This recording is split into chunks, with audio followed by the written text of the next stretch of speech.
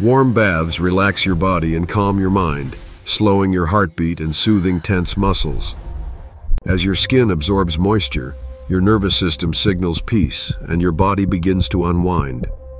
Hydration restores damaged skin cells, bringing back softness and elasticity from deep within.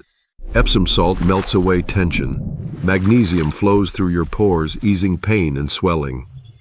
Muscle fibers relax as inflammation fades. Energy flows freely again through your limbs. With Epsom salt baths, blood circulation improves, bringing comfort and renewal. Bath bombs look fun, but chemicals and dyes can harm your skin and microbiome. Artificial fragrances can upset natural bacteria, leading to irritation or infection. Lavender oil brings peace. Its scent lowers stress and relaxes every muscle. Its molecules signal calm in the brain, soothing nerves, and improving your sleep. Tea tree oil, though powerful, can burn and irritate when it floats on your bathwater.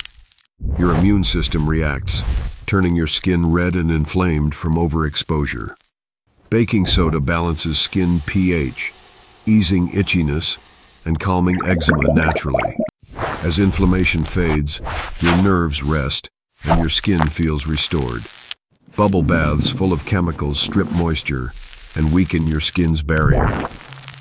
What feels like luxury may quietly cause dryness and irritation. Olive oil restores your natural lipid layer, sealing in hydration and softness.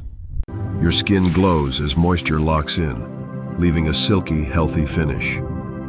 Coconut oil can clog pores, trapping bacteria and causing breakouts. The result?